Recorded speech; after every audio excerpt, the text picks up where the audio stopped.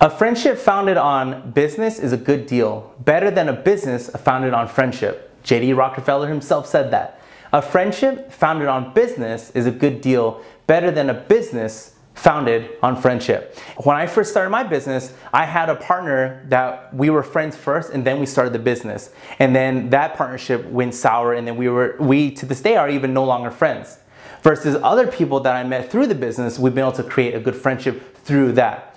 And it was crazy because every year I have my same CPA and he tells me that 75% of his clients that when they first come to him and start a business, they are friends first, within the first three years, he says 75% of them are no longer even in business together and they all go sour. They all go their separate way. One of those reasons because it's friendship people believe that it should always be split 50-50. People believe that, hey, we're friends, I, you should do more work or I should do work, or hey, you're not doing as much work as you should, versus if it's a business, and you guys weren't friends first, you know that the relationship you're having is you're coming in as a business person, I'm coming in as a business person. We're both gonna share our weight, we're both gonna put in the time that we're supposed to put in, and then we can build this business together. So it's kind of weird because you would think that and you would hope that you want to make money with your friends. You want to build a financial wall around your friends and family that no one will be able to penetrate. But a lot of times it can go sour. So JD Rockefeller, I would have to agree with this from my own experience. Friendship founded on business is a good deal better than a business founded on friendship. JD Rockefeller.